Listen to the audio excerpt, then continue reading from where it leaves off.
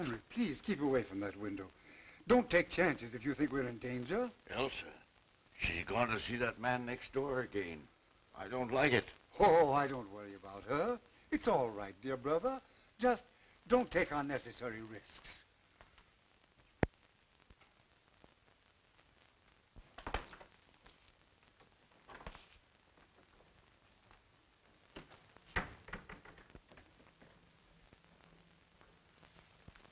She's gone next door again. I know it. I saw her. Yes, sir. What you'd like to know, that's all. Good afternoon, Miss Murphy. How are you today? Fine, Miss Carson. Thank you for asking. Go right in.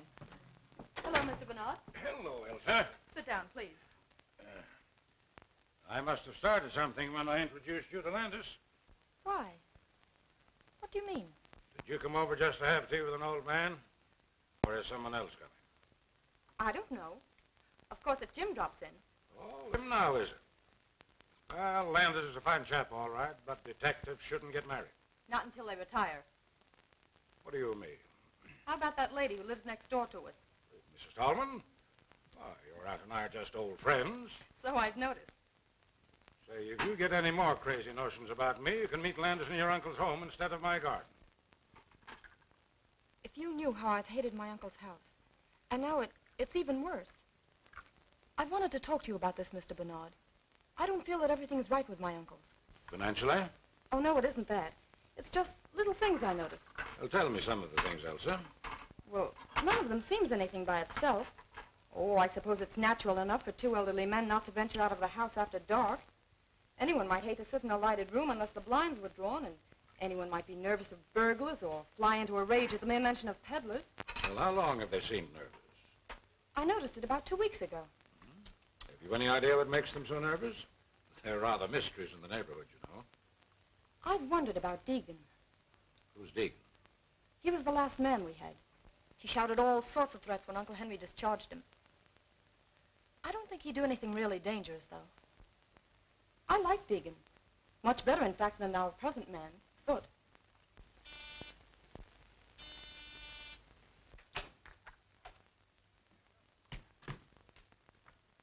Good afternoon, Mr. Bernard. Well, Hello, Elsa. Sit down. I'll pour you some tea. Are you all through? Yep, I have my man in jail, and my work here is finished. I'm going to town tonight. give my regards to all the gang at headquarters. I surely will, sir. But don't think for a moment you're forgotten. The old timers all hold you up as a shining example to me. They call me Sherlock Jr.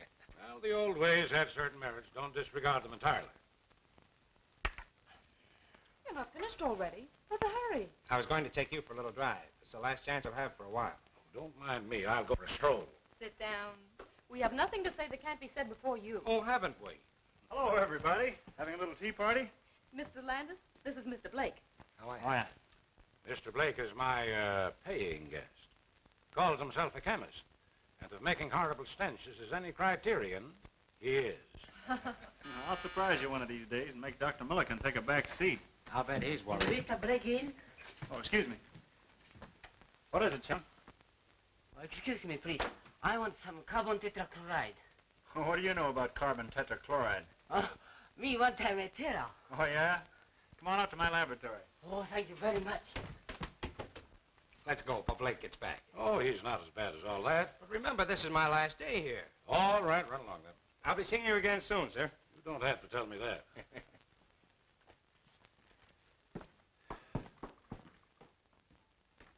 Ah, what a glorious thing youth is. Pity it's wasted on the young. I beg your pardon, sir? Oh, nothing, nothing. Aren't you going to let Mr. Blake have some tea? What's the matter, Blake? Oh, uh, nothing. Has, has Miss Carson gone? That's your hated rival kidnapper. Who is he? Oh, a youngster who got on the detective force through political pull, then upset all predictions by making good. I should think she's better than that. She'll inherit all her uncle's money, won't she? Yes, and the old misers are quite wealthy, too.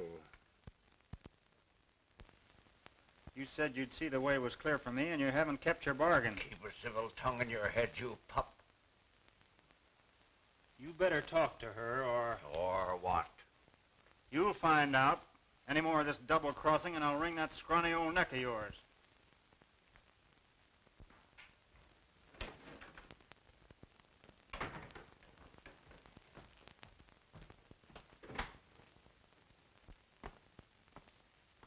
Won't you please say yes, dear? I can't now. Oh, it's no use pretending I love my uncles. I don't. They wouldn't let me when my mother and father were killed and I first came to live with them. But they need me, Jim.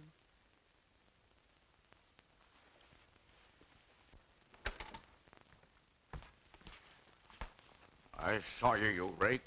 Under my very nose. Now get into the house, you baggage. Hold on, sir. You must be crazy. I'll show you with a load of buckshot how crazy I am. Get out of here. Wait, Elsa!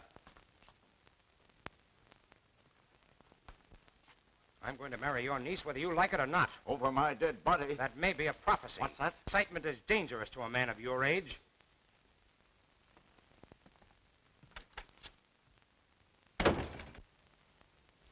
Thank you. Well, I'm glad to see you home again, Mrs. Tallman. Oh, that's very nice of you to say so. For two reasons. Have you seen Elsa's uncles lately? I'm as welcome in that house as a polecat at a garden party. I only moved here to be close to Elsa. Oh, you're not their sister then? Heaven forbid. But Elsa's mother was. They wanted her to marry a scoundrel, but my brother stole her right under their very noses. They've never forgotten it. Yes? Mr. Landis to see Mr. Bernard. Hello. Pardon me. I was next door and saw you come in here. You know Mr. Landis, Mrs. Tallman. So you're the young man Elsa wrote about. What's the matter, boy? Elsa's uncle. I'm not going to have her subjected to those insults. What insults? What did he do? All the things that I won't stand for and said that I would marry her only over his dead body. That's not a bad idea. What have they got against me? Perhaps they don't like detectives. Just what do you mean by that? Well, nothing, but they won't even speak to me, and I'm retired. I've decided not to leave tonight.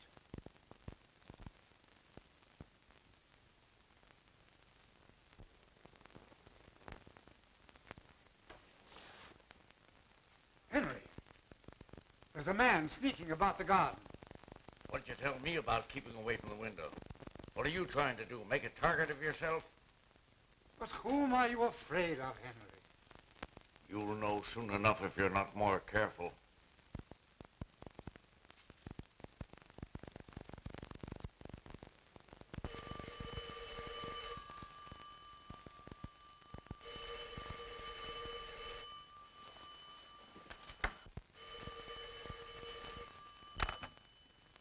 Hello? Hello? Who is it? Well, sir. Please come over.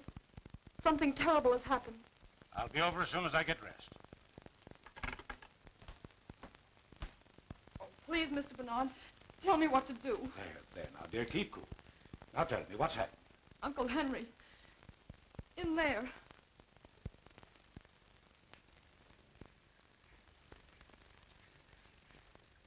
Oh, no, no. I can't go in there again.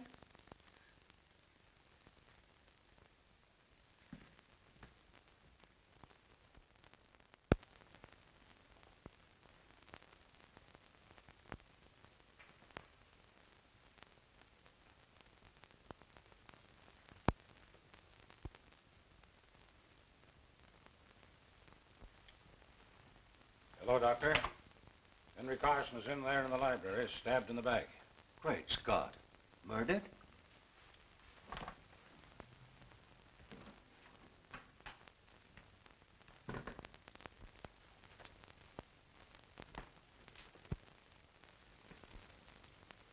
Good. Well, this is the one time I didn't expect to see you as if you'd stepped out of a bandbox. Did you think I'd be wearing an old flannel nightshirt?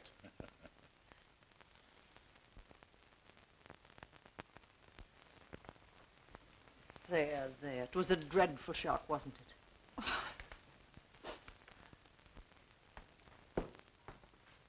Come in and stay at the door, Jim. I'm glad you're on this case, young fellow. Thanks. The body's in the library. There's Foot who first found it. Tell Mr. Landis all you know, will you, Foot? Unless you'd rather look in the library first. Anything you suggest. I suppose you'll take charge. Oh, no. I'm on the shelf, but I'll help you if you want me to. Thanks. What do you know about it? I woke about 2 o'clock, sir. It was very warm, so I got up and opened the window. I saw the light from the library shining on the lawn, so I came downstairs. I thought Mr. Henry was asleep. I shook him very gently. But he wasn't asleep. So I called Miss Elsa. Elsa, were you awake when the butler rapped on your door? Yes. I, I mean, no, I don't think so. Did you hear anything unusual before he rapped? No, I, I didn't. I see. And now may I be permitted to suggest that Mrs. Tallman take Miss Carson up to her room?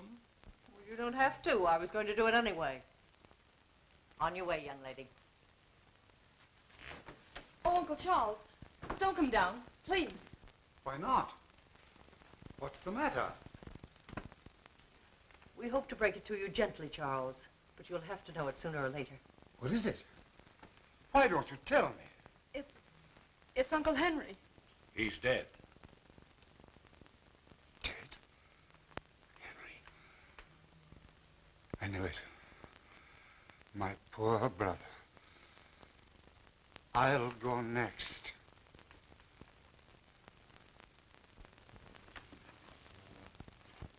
Do you think the stab in the back was the cause of death? Naturally. But this was done with a fine instrument, which accounts for so little superficial bleeding. There was none. The edges of the cut in his shirt and undershirt were bloodstained. Yet if the instrument reached the heart, there would be blood on it when it was withdrawn.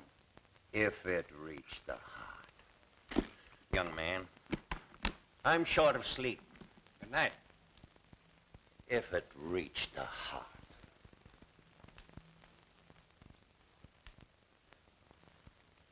Seems annoyed, doesn't he? Well, naturally.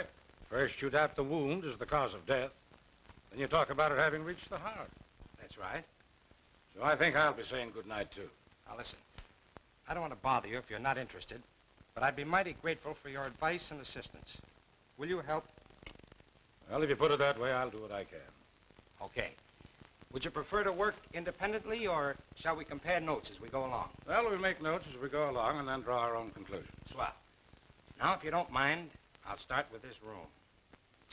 All right, young fella, go ahead. I'll follow you.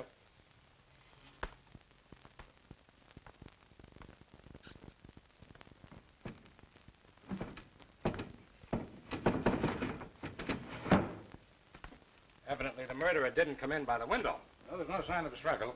Carson was stabbed without warning as he sat at his desk, not moved to that position afterwards. I'm with you on that.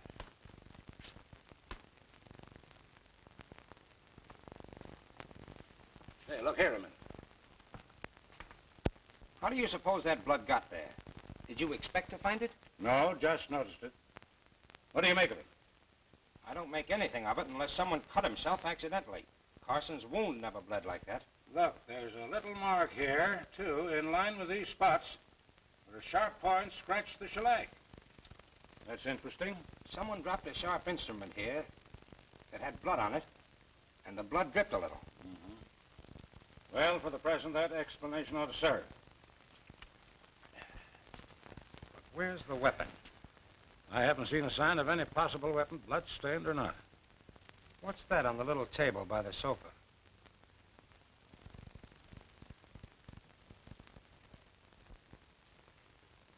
An empty scabbard. It Doesn't look as though it would fit the weapon that inflicted the wound. Possibly not. And that's interesting, too. But where's the weapon that belongs to it? Might be worth finding out. Well, we'll look into that tomorrow. Meanwhile, is there anything more you want to do tonight? I don't want to keep you up, but I'd like to sleep on this with as much information as I can get. You know more about the household, and you were here first. All right, come over to my house and I'll give you 15 minutes.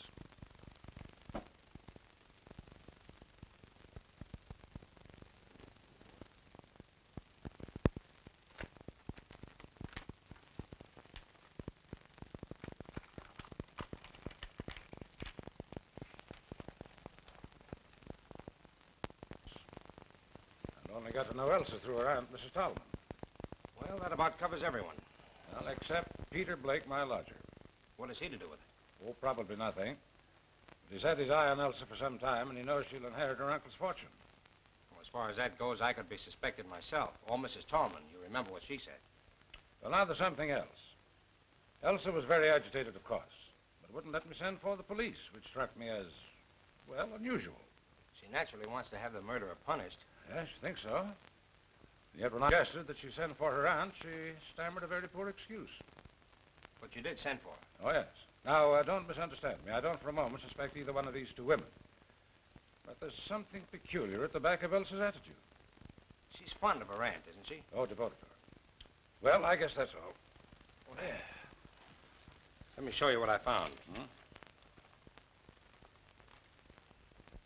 I found it beneath the dead man's hand.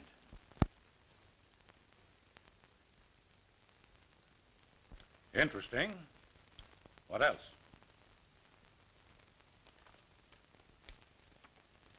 A dead mouse. Well, that's interesting, too. It's prima facie evidence against the housemaid, but it's not just the kind of evidence we're looking for, is it? Maybe not. Who knows? Good morning, dear. I wanted a moment with you alone before Bernard arrives. Let's go to the sitting room. I'm afraid I had my washout this morning. I hardly slept all night. I know the shock must have been terrible.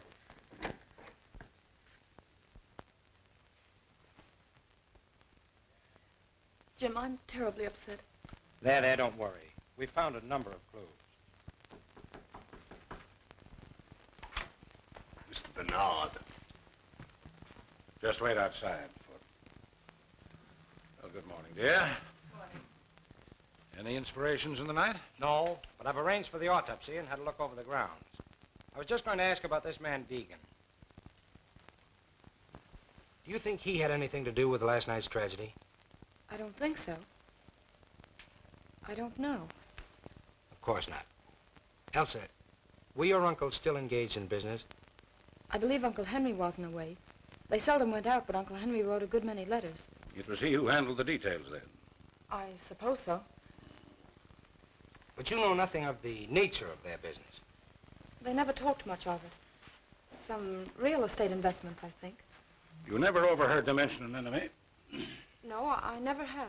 Would it be possible for us to see your Uncle Charles for a moment? Oh, no, you mustn't. Please, don't disturb him now.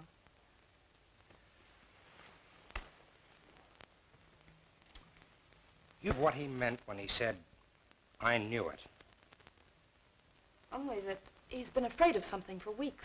You know of any quarrels your uncles may have had with anyone? Anyone at all recently? Oh, don't mind me. If I'm guilty, I'll condemn myself. Uh, did anyone else call at the house yesterday or last night? Well, what was that? Did anyone else call yesterday or last night? I, I don't think so. Won't you let me go now? Before you go, may I ask you one more question? What is it? I just want to know whether you saw anyone other than the regular household about the place last night before the tragedy.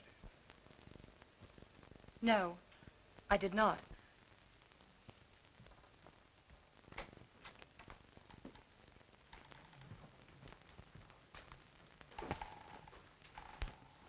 Come in, Foot.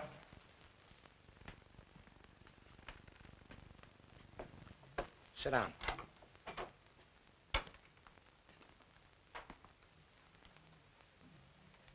I have a few questions to ask you. This is unlocked, Foot. Did you lock it last night? No, sir. Miss Elsa is in the habit of doing that before she retires. But you locked up the rest of the house. Yes, sir. When I retired, the cook was reading in the kitchen. Mr. Henry was in the library, and Miss Elsa was in her room, I believe. Is there anyone else in the household? The housemaid, Helen Smith. Thanks, that's all. Send the cook in to us. Oh, wait. Did you see or hear anyone last night? Not exactly. What do you mean by that? Nothing, sir.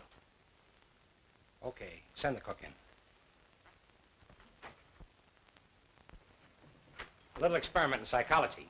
Foot knows that we know he's holding something back. You'll have a good alibi. All the better. We'll check it and place him in the case one way or another. Come in. I'm afraid I don't know your name. Uh, Miss Dubbin, sir. Now, Miss Dubbin, I want you to tell me what happened last night. Sit down, please. Well, it was after dinner when the dishes was washed up with the help of Helen Smith, who is always neat and helpful with a quiet tongue and tidy ways. Not like that Mr. Foot who thinks he owns the house. Skip that. Go ahead. Mr. Foot had some silver to polish in the pantry. So I settled down to read a book called Passions in the Purple. And, sir, while I don't go much for princes or princesses in a rule, I must say those two was as deserving a pair of young lovers as you could ever hope to find. Exactly. And after you read about them for a while, you went to bed. Uh, yes, sir. But it was quite late. And then I had such a fright. What frightened you? It was nearly midnight when suddenly I looked up from the book page as if some power outside myself had drawn my eyes to the window. And there was a man's face, right up against the glass. I nearly fell off at the chair, because in the book the prince has been captured. Did you recognize the face? No, sir. I was much too scared. Did you warn Mr. Henry? Me warn Mr. Henry? With his terrible temper? No, sir. But I told Mr. Foot this morning. Quite right. We won't detain you any longer. You may go.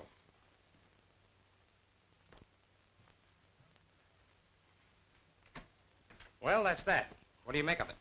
I think I'd like to have a few more words with our friend Foot.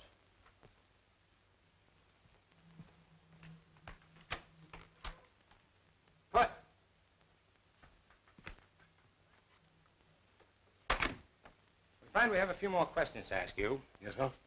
Have you put down any poison against rats or mice lately? No, sir. I didn't know of any having been put down. Say, by the way, why didn't you tell us about the face at the window last night? Slipped my memories. A few minutes ago, I asked you whether you saw or heard anyone last night. and You answered, not exactly. Well, sir, I told you that I woke up shortly before two o'clock. But I woke before that, around midnight, I believe. I was awakened by voices. A voice, anyway. Did you recognize the voice? Did you recall any words? No, sir. But I felt sure I'd been awakened by a voice. Did you get up? No, sir. Why did the murdered man fire Deegan? Sure I don't know, sir. What hold did you have on Henry Carson to make him fire a good man without cause just to make a place for you? You'll excuse me, sir. But I don't know what you're talking about. Did you ever hear of Foxy Wilder? No, sir. That's all. Send in Miss Smith.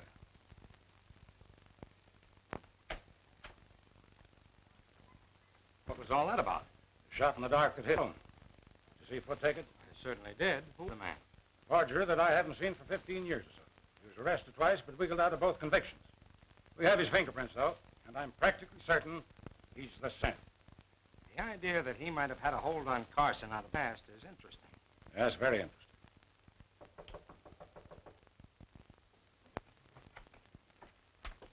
Take a seat, Miss Smith. I know nothing about the murder of Henry Carson. I was in bed and asleep by 10 o'clock. Miss Smith, did you sweep the library this morning? I did not. It was swept the day before. Did you dust the little table by the couch? Of course I did. Did you see the dagger there in its scabbard? Of course. To whom does the dagger belong? To. Why? We're asking questions. To whom does the dagger belong? I haven't any idea. Does it belong to Miss Elsa? Well, if you're trying to accuse that poor innocent It girl. does belong to Miss Elsa, eh? I haven't the faintest idea. That's all, Miss Smith. You may go.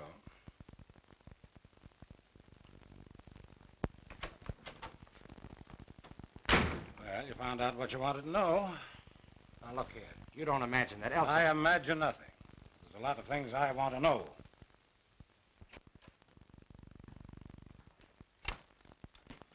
Hello, what's up? Who? Henry Carson. He was a friend of yours, I believe. Well, I just knew him, sir. What are you, uh, doing here, Mr. Blake? Oh, uh, just experimenting. You have a lot of poison gas, I see. Why, yes. Uh, oh, no, not exactly. But say, Mr. Landis, I wouldn't think of killing old Carson. Well, of course not. He'll be ready in a few minutes. Why, I'm out to lunch. I, I have an engagement. Going far? Oh, no, just around here.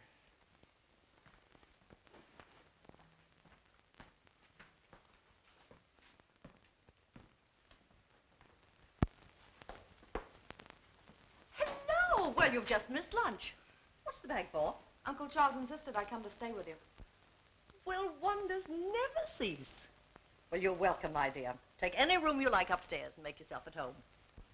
Are you acting as convoys? Oh, no, we just met outside. Landis wanted to call on you, so I came to take care of him. Well, a lot of help you'd be. Step into the drawing room. John, take Miss Elsa's bag upstairs. We'll just see what they want. Sit down.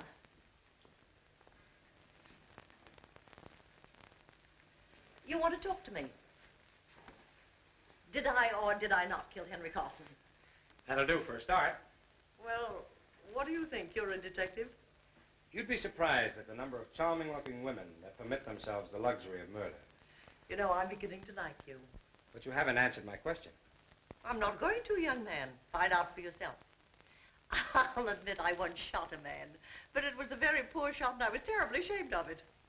Carson's death was no great grief to you, was it? No. I'm a good hater, as anyone who is unkind to Elsa will find out. Have you been in touch with the Carson house lately? Let's see. We talked it over last night. But we couldn't imagine who might have done it. I mean, were you in touch with the Carson house, Mrs. Tallman? Why, I haven't seen Aunt Marion for days. But you talked to her. After we found Uncle Henry, Aunt Marion came over, you know. Don't be silly, child. You telephoned me last night about 10 o'clock and asked me to come over. Why didn't you tell us that, Elsa? What has telephoning my aunt to do with the murder? It might have a lot to do with it. Did you go? No. I knew that a row with her uncle would just make matters worse for her. Was it because of the incident between your Uncle Henry and me? Yes, he was much worse after you left. Now, you mustn't let our visit upset either of you. Oh, certainly not. But on the other hand, Mrs. Tallman, I must ask you not to attempt to leave town. I have no intentions of leaving town. You'll find it very hard to arrest me while Choong is still with me. Good afternoon, gentlemen.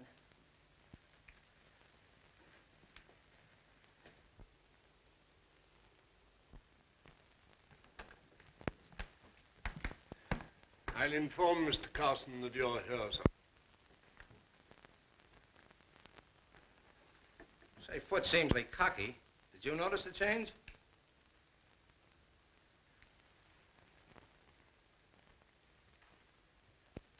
What's the matter?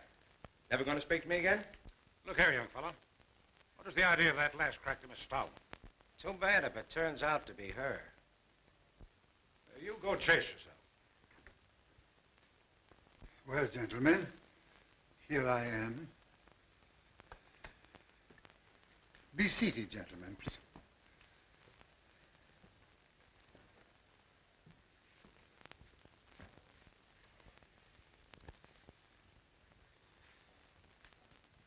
It's very kind of you to give us this. We have no definite clue as yet, so we've been forced to come to you for help. I'm afraid there's little help that I can afford you. You see, my brother was a good man, but he had a violent temper, which made him many enemies. Cause for your nervousness of late. Figure sneaking about the grounds. Yeah. And at what time? I, I was reading in, in my room late at night. Uh, when I put out the light and opened the window, I figure in, uh, there by the hedge. Did you describe the man at all? No, it was too dark. Did you hear anything last night? I was very tired and I didn't wake up until Foot called me. I'm sorry I can be of so little assistance, but I'm here. of yourself lately, haven't you? You said something about being the next to go. Yes. I regretted those words the moment I had spoken them. I had wished to frighten Elsa more than she'd been frightened already by the tragic fate of other.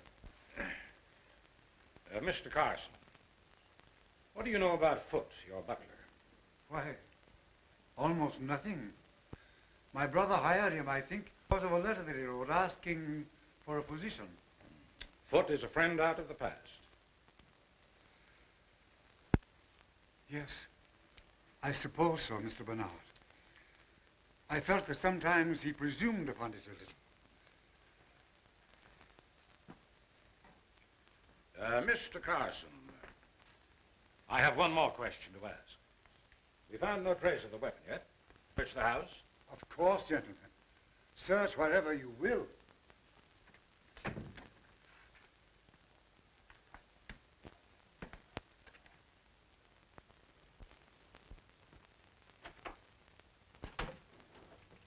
No use looking in there. If it were hidden among her clothes, she'd have found it herself.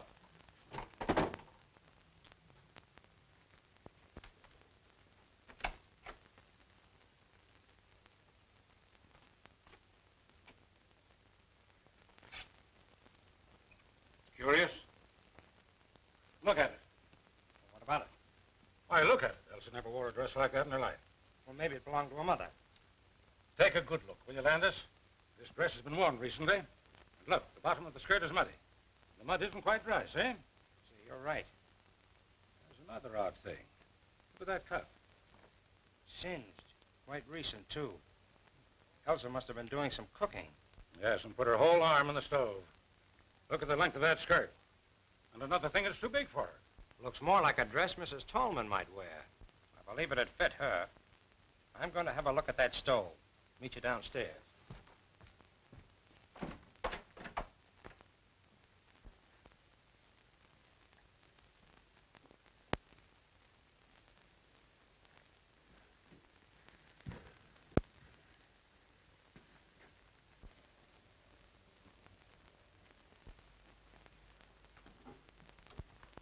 Excuse me, sir.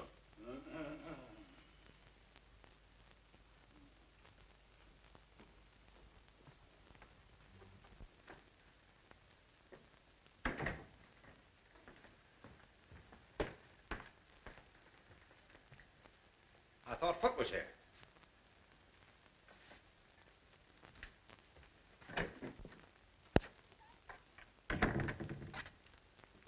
Foot. Do you remember anything more about the voice that awakened you earlier in the evening? I really don't remember anything more than I told you, so. Well, do me a favor and try hard to remember now, will you? I'll try, sir.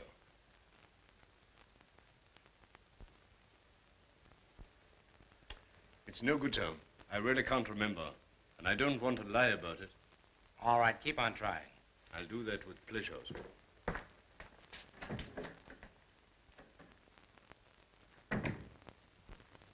No, I can't say that I noticed anything peculiar about the library chandelier. Well, I did. When we were waiting in there for Charles Carson, I happened to look up at it. One of the gas jets was fully open and parallel with the pipe. But great Scott, man, we would have smelled it. Oh, no, we wouldn't. The cook tells me that Henry Carson had had a scrap with the gas company and it was shut off all over the house. She uses a coal stove. That's how I found out about it. What harm could it do then if it were open? When I went in to speak to Foot, it was closed again. But who would have touched it? Was put in there long enough to have turned it off?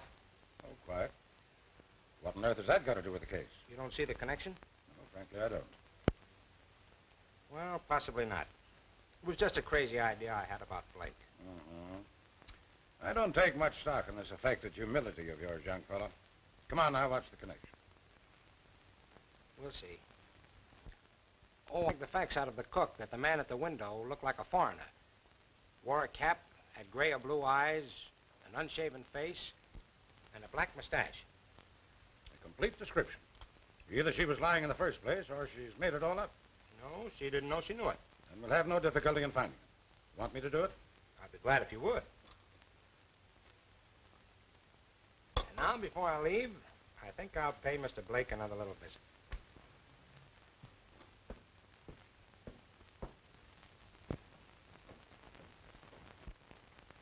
Look here, what do you want to know all this for? You prefer not to answer? No, I don't mind. I was only joking. The fact is, I'm working on a new infallible gas disinfectant for rooms where people have had contagious diseases. You have a number of gas containers here. What are they? Why, there's natural gas, there's And in those carboys? ether, ammonia, and chloroform. Is this the company that supplies you, Bar Chemical Company? Yes?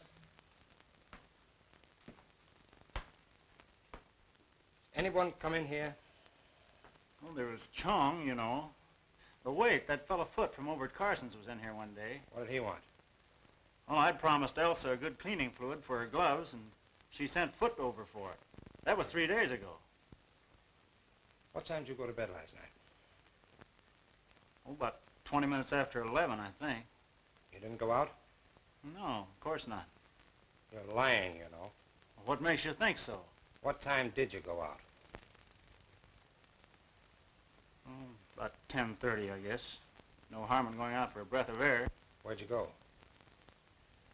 Look here, you haven't any right to come here trying to third-degree me. You don't care to answer? No, I don't. Very well. Well, wait a minute. What are you going to do about it? Nothing for the moment. But when you get ready to tell me what you were doing on the night of the murder, let me know.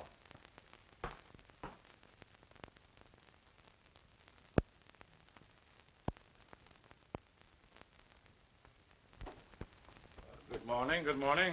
You're an early bird. Where haven't you been to bed? You realize this is the third day now, and we're just about where we started? Oh, I wouldn't say that.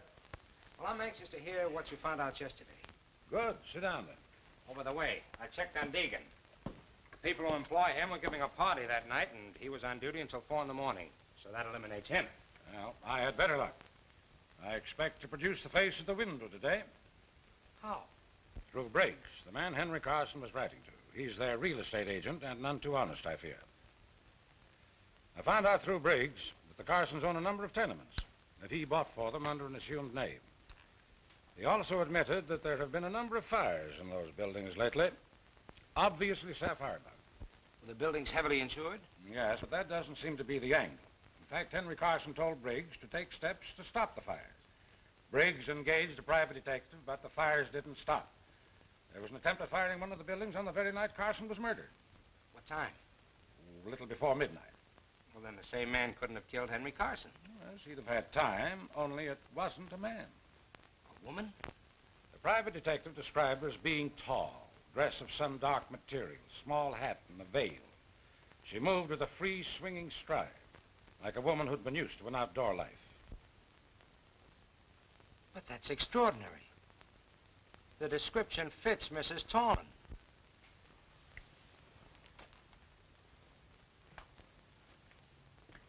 I knew you'd say that. I asked Charles Carson if he had any clue to the firebug. He's got someone in the back of his mind, but he wouldn't say. Though he hinted that the firebug and the murderer might be the same person. You think Mrs. Tallman couldn't have done it? That dress in Elsa's room. Well, If she had just escaped arrest and thought somebody was following her, and instead of making for her own home, she made for the Carsons, Henry Carson admitted her and swore at her for disturbing him. His voice, or hers, woke Foot. In the heat of the moment, she picked up the dagger, stabbed Carson, then hurried to the hall. Now let's say that by that time, Elsa had come out into the upper hall, and so Mrs. Tallman pulled herself together, went upstairs to the girl, and borrowed another dress to go home in, leaving hers with the cinched cuff. so you figured that you put two and two together, eh? His attitude? Yes, but it wouldn't explain the face at the kitchen window, which is an exact description of one of Carson's and our tenants. The man who lost his wife and child in one of the fires. Let's go see Foot. Good morning, Doctor. Where? Yes, and I was here very late last night. Carson's in pretty bad shape. Now, what's the matter with those servants? I've rung three times. Oh, good morning. Takes you a long time to answer that bell. It isn't my job to open the door. It's Foot's. Will you send Foot to us, please, Miss Smith? Yes, sir. Will you wait in the library?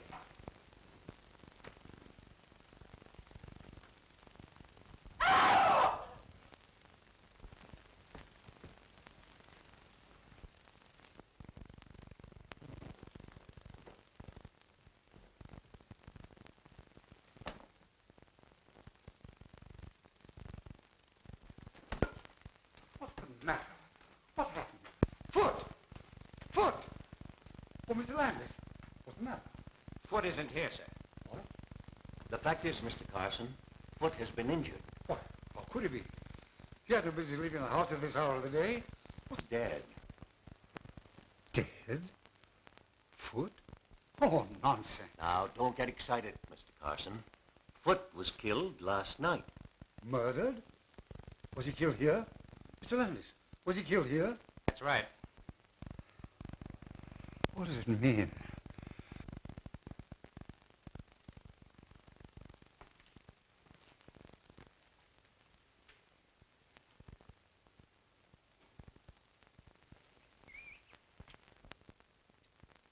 here, Landis. What do you make of this? Looks as if some very muddy article was dragged across the sill. You see that out there? Yes. Flower bed is covered with footprints that have been carefully trodden out.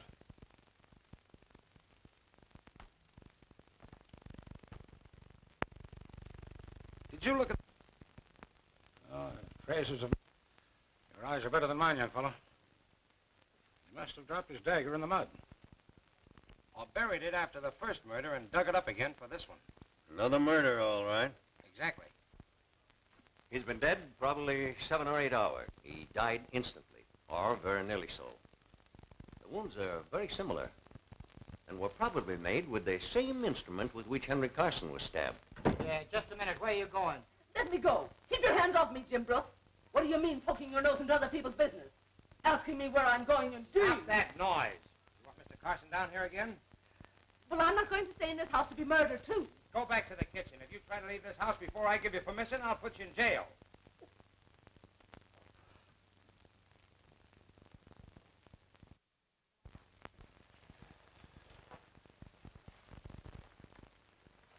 Helen Smith is gone, and there's only the cook, so I had to come back. Yes, dear, we let her go home. I've questioned both those, and I can't throw any light on the case.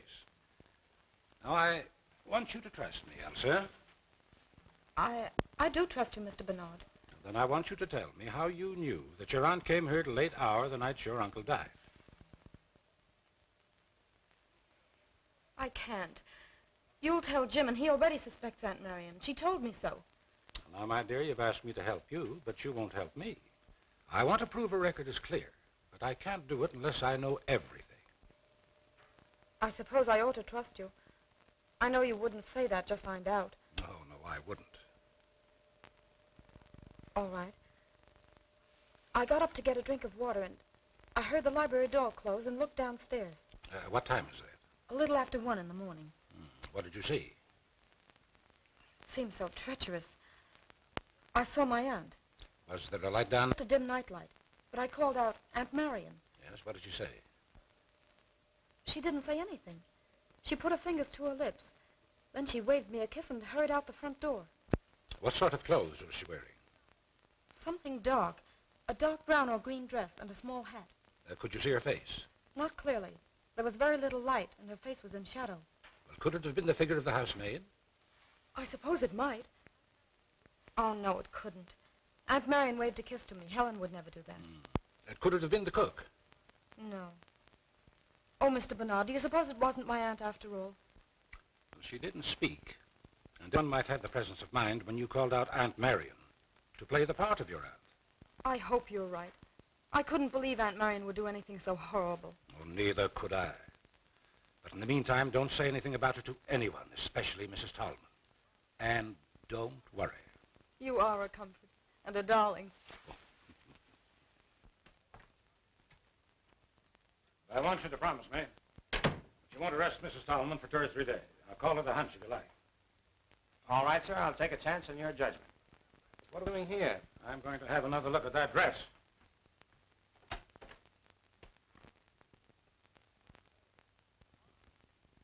Gone. Gone. I'll have a chat with Elsa about it.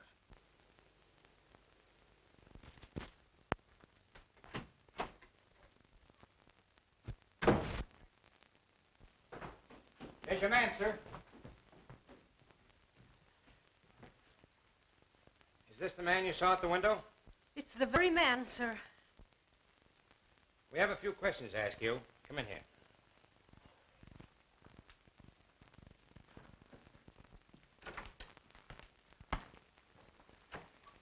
Sit down.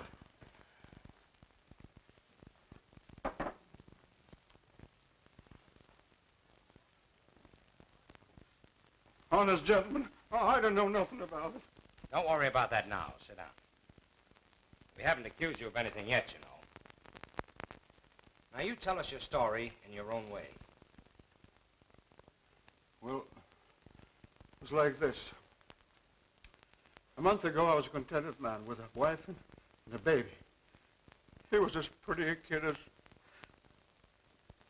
Well, I'd been working one night and I was getting home late.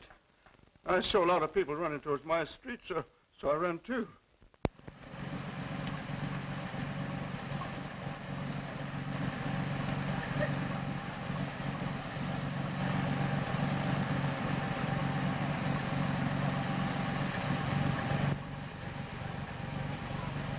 Back there. But my wife and kid, they're in fire. Everybody's out. My wife and kid, are, are they safe? There was a woman and kid, they took him to the hospital. Hospital?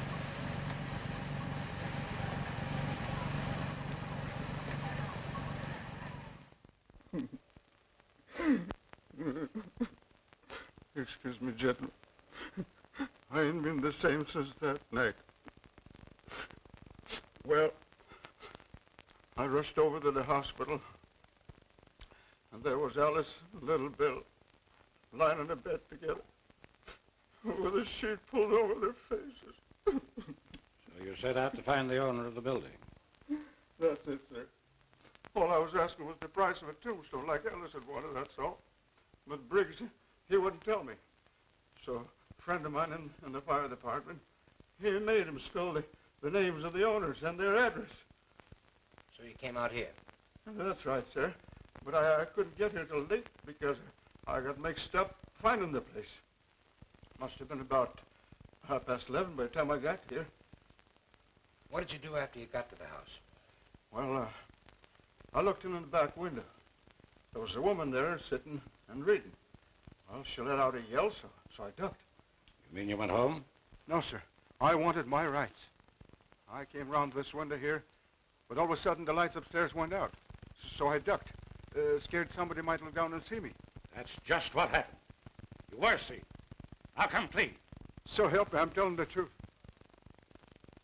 Well, after a while, I crept back and looked under the shade. At this desk here, there was an old man looking over some papers. Did you rap on the window? Uh, Not me, sir. I, I wasn't looking for trouble. I just walked along the house to, to see what kind of a car they had, to see if they was rich. The garage was empty, so, so I went home. Is that all? I guess that's all. But I didn't murder the old man. You better tell us everything, Bell. Oh, what's the use? You wouldn't believe me. Why don't you try? Huh? It was like this, sir. The garage was all dark inside. But I carry a torch, and just as I took it out, something something hissed at me from the back of the garage. Hissed at you? Yes, sir, I'll swear to it. Uh, it scared me so bad that I ducked again. Then how did you know there was no car there? Well, after a while, I came back and I flashed on the torch, and, and that time I saw it. Well, what was it? I said you wouldn't believe me, but I'll take my oath it was a snake, wiggling away toward the back. You're sure it wasn't a long red herring? I'll take my oath it was a snake. So you went home. Yes, sir. I went straight home as fast as I could. You were never near this place before. Well, I never found out the address till the day before. How could I come? You came again? I never did, sir. I never came near that place again. You again. came here last night. Crept in. Stabbed another man at that desk. Just as you stabbed Henry Carson. I didn't, sir. I didn't. I swear I didn't. Where were you last night after midnight? Uh, I was in a picture show. Anybody with you to prove it? No, sir. I went alone. I'm going to send this fellow home now, but don't lose track of him for a few days. All right, Val. You can go home now. Oh home? And I'm going to see what I can do about raising the price of that tombstone. Thank you. Thank you, sir. Well, what do you make of it? Well, that was a shot in the dark that didn't strike home. But let's see Elsa about that dress. I'm convinced that that dress was worn by the woman she mistook for her aunt. Do you really think it possible that it was Helen Smith or the cook? I didn't take the Helen Smith. She showed a vicious temper and is quite callous at leaving Elsa alone. And for a good cook, Miss Dubbin strikes me as being unconvincingly brainless. She told the truth about the man at the window. Yes. And she was the only person in the household that was up late the night that Henry Carson met his death. And so far as we know, she was alone downstairs with Foot last night when he died.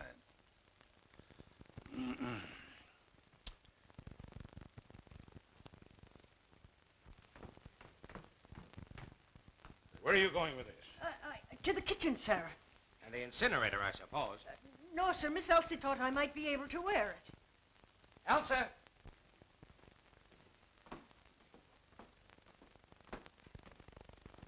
Did you give this dress to the cook? Why, yes. I found it at the bottom of Foot's trunk. Foot. Well, Foot must have planted that dress in here. And it would be the logical place for him to hide anything else. While Elsa was away.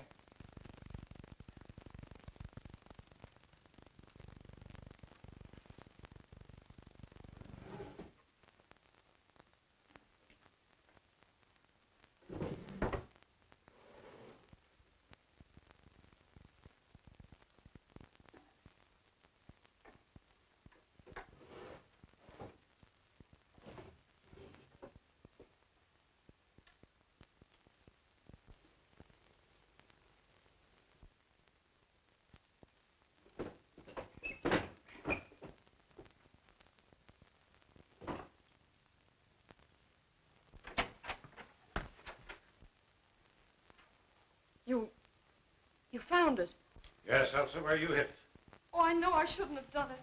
But it lay there. Where? It lay on the floor of the library. Foot hadn't seen it, so I sent him for water. Then I ran upstairs and threw it in my wardrobe. That's why you called Mr. Bernard from upstairs, but why did you hide the dagger, Elsa? Oh, don't you understand? I thought I had seen Aunt Marion leaving the library. When I saw that dagger covered with blood, Then you washed it and later hid it in the drawer. You did a very foolish and dangerous thing. Oh, it wasn't as bad as all that, dear. There are other clues, you know. I'm sorry. But I'm not frightened anymore. The gentleman from the chemical company wants to see you, Mr. Landis. Oh, thank you. Will you come too? Excuse us, dear.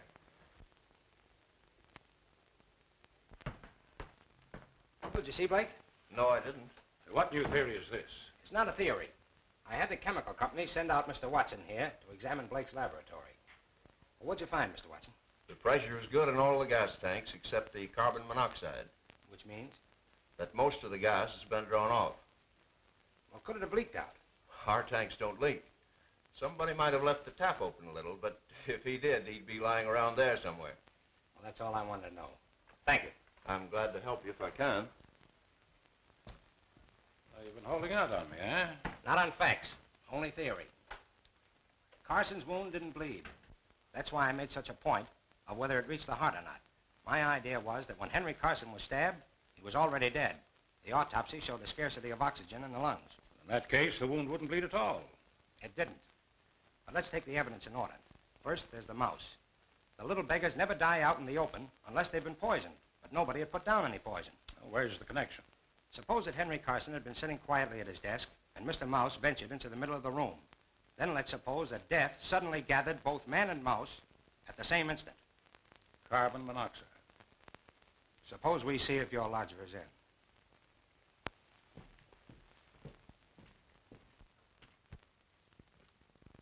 Well, it looks like he skipped. I'll broadcast his description. We'll soon pick him up. Uh, say, Landis, uh, how do you figure the gas got in the library?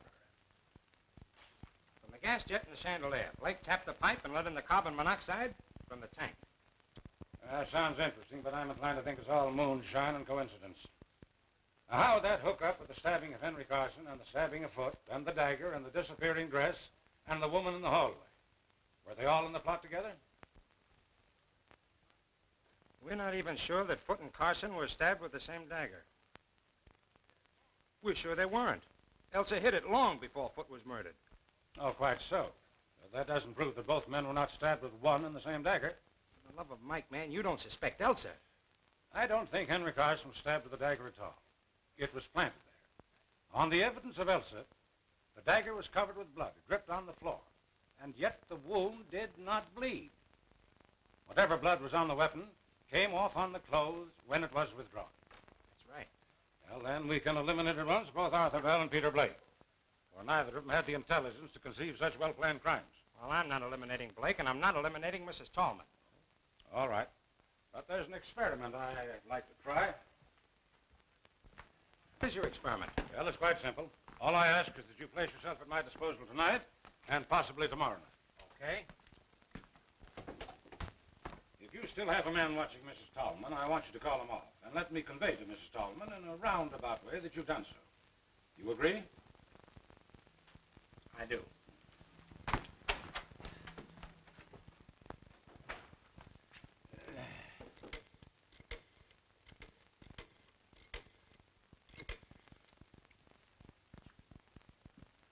Hello, Elsa. Well, I think I have some good news. Landis has agreed to remove the man who's watching Mrs. Tallman. And he doesn't suspect her anymore? Oh, may I tell her so? Oh, I don't see why I shouldn't tell her. I don't think there's any secret about it. Well, I wouldn't be surprised if we had the real culprit any time now. Oh, it's a pleasure. Goodbye. All right, I've called off my man. What next? I want you to go back to your hotel and stay there quite openly. And about 11 tonight, slip out and creep up to my back door without letting anyone see you. Anyone at all. Can you do it? I think so. All right, then. Off with you.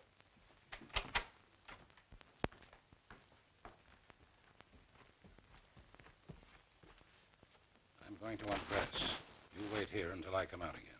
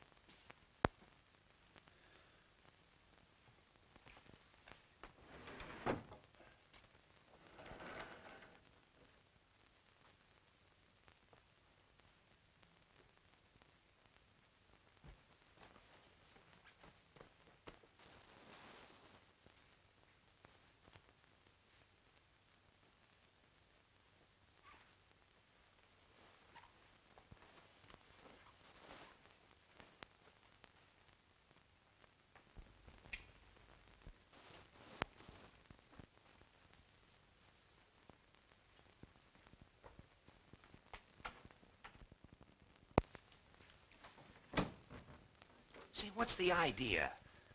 That's the experiment. Don't talk, not a sound.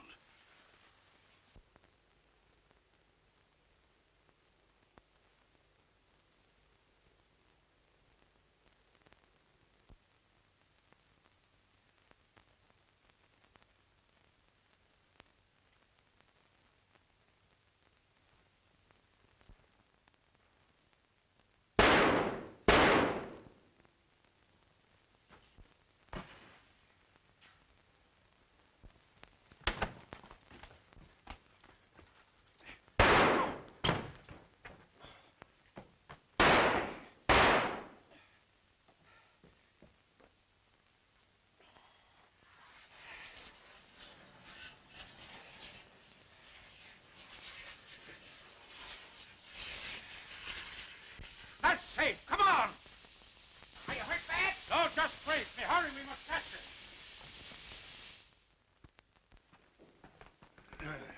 Where the deuce are you going? What is all this? Now, this is my show, Landis. Bruce here is the detective working for me. You identify the firebug, Bruce? All but the dresser, same height, carriage, and walk. Uh-huh.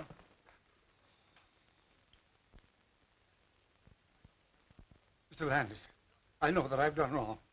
Would you tell me, please, if I'm to be incarcerated tonight or permitted to sleep here? What do you think we're going to charge you with? Well, dressing as a woman, I know it's illegal, but I wanted to find the murderer of my brother. We're saving you the trouble. We're charging you with the murder of your brother and the murder of Foot, setting fire to your tenements, and the consequent death of Arthur Bell's wife and child. Ridiculous.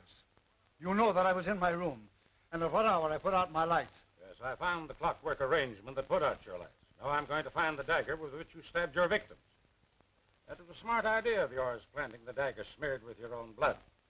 You see, I saw the first morning that you had adhesive tape on one of your fingers. Lies, lies, Mr. Landis. How long is this farce to continue? Until you confess. Come on, Landis. Let's find that dagger. I think I know where to look. One moment, gentlemen, please. I admit I'm the firebug. Unfortunately, I'm the miserable victim of a pathological mania. But I know nothing about the murder of my brother or of Foot. That woman next door did it. You murdered them both. You fired your buildings for the insurance. Then you came home that night and found your brother as you thought asleep. With him out of the way, you would possess his fortune as well as your own. You saw the letter he was writing to Briggs, and you stabbed him to put an end to him and his interference. You're mad. But Elsa's cry awakened Foot, who came down and found you and in the tire. He proceeded to blackmail you. You lured him into the library, where you stabbed him as you did your brother. Pray, tell me, where is the weapon with which you imagine I killed my poor brother and Foot? It isn't in the house, so it must be somewhere in your course between the front door and the side door where you re-entered the house. Come on, Landis. We look the ground over again. Right. Oh, uh, you've got your flashlight? Yes, well, we'll take Carson along.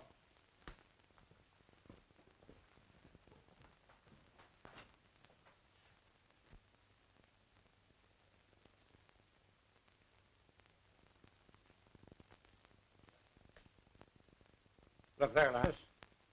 Doesn't it seem strange that such a tall plant should be tied to such a short stake? That stake? That wouldn't help it any. Hmm. Bruce, pull it up and let's have a look at it.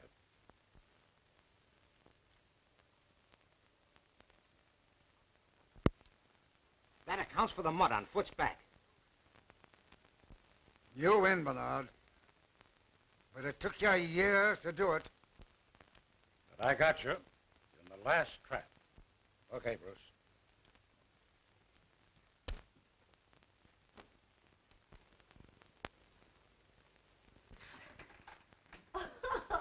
Cleared at last, and you're foiled again, Jack Dalton. I'm sorry. Dollar. Oh, forget it. I suppose you want to talk to the mastermind. Yes, but I wondered. Oh, I know what you're wondering. I'll just see if she's presentable. She's had quite a shock, you know. Yes, she must have had. You'll find Sherlock in there. Thank you. Good morning. Oh, good morning. Oh, don't get up. See, now that it's all over, do you mind telling me how you happen to suspect Carson? Not at all. You took it for granted that Carson wouldn't murder his own brother, and you never looked his way. I didn't and did. That's all. Well, that's not all by a long shot. But I believe congratulations are in order. Oh. But don't forget, you must congratulate me, too. For what? Because I've got the man who really killed Carson. Blake? Yes, again. Say, what is this, a game? Where is the real murderer? I have him by the hand. Are you trying to kid me? I'm not kidding. You killed Henry Carson. I never could figure why Foot should turn back that gas jet in the library. It didn't make sense. But you were there, too. It was easy for you to enter the library while I was talking to the cook. Go ahead. Carson's last words when he was caught implied that you had known each other before, but you were certainly not old friends. So you must have been enemies. You on the side of the law, he against it. So far, you're right. But not once could I get evidence to justify an arrest. Now, what else, young fellow? There was Arthur Bell and the hiss of the snake. I took another look at the Carson garage this afternoon. In the back wall, behind the firewood, is a small hole recently bored leading to your garage. And there were yards of rubber tubing in the back seat of your car. Naturally. It's no dice. You'd already opened the gas jet in the library that day you called about the fence. Mm-hmm. What else? You made sure that Henry Carson was at his desk. Then you connected the tube with the gas jet in the garage. You then went back to your own garage, connected the tube to the tank, and turned on the gas. That was the hiss that scared Bell. You let in enough gas to kill a dozen men and a mouse. Then you drew back the tube, and it was the end of that writhing tube that Bell saw. Of course, he thought it was a snake. And the confessed stabbing of Henry by Charles. Henry Carson was as dead as that mouse when his brother stabbed him. An interesting bit of reasoning. How long have you believed it? I suspected it days ago. You were so down on my theory of gas and so unwilling to involve Blake. Landis, you've done some fine reasoning. I never thought you'd figure it out. But you don't know the harm those two men have done. I came here to live with no idea but to trap them. You see, we never actually met, but they knew me as well as I knew them. Hello. Are you two still congratulating each other? We're pretty good. Well, there's someone outside who thinks so, too. Oh, uh, you'll pardon me if I carry this investigation a little further. Won't you sit down, Mrs. Tallman? Certainly. Well, I suppose you're very busy now with Sean gone and Elsa on your hands, but if you have a minute, I've got something to tell you and something to ask you. An hour, if you like. Well, I thought you'd like to know that Landis has traced the murder of Henry Carson to me. What? But you didn't do it. Oh, of course not, but I've practically confessed it, and Landis has let the matter drop. Well, I'll be... That's all right, that's all right. What else could I do? You see, I found some rubber tubing that belonged to you hidden behind the firewood in the garage. I pawed it over to hide your fingerprints and leave my own, then I hid in the back of my car. But will you tell me, please, in confidence, how you got that tank of carbon monoxide to asphyxiate Henry Carson that night? That's the only thing I don't understand, the only thing that doesn't fit. Do you mean to say that you confessed to such a crime to shield me? What else could I do? But I didn't do it. What? Then who the heck did? Well, you're just in time, children. For what? You accused Mr. Bernard of killing Carson. Now I'm going to tell you who really came. Two weeks ago, I was fool enough to remark in Choong's hearing that if somebody would only murder Henry Carson, I'd be the happiest woman in the world. The morning after Henry was killed, I remembered. And knowing Choong's devotion to me, I accused him of it. He blandly admitted that he pried open a window, sneaked into your house, stole the gas from Blake's laboratory, and asphyxiated the old scoundrel. Well, I'll be... Shh, shh, shh, shh. But he'll have to be arrested. Why, uh, certainly. Where is he? On his way to China. Nevertheless, we'll get him. You were wondering where we'd spend our honeymoon. Well, it looks like China to me. You're a man, Forbin. Oh, fool. Well, have it your own way. But I'll tell you what I'll do.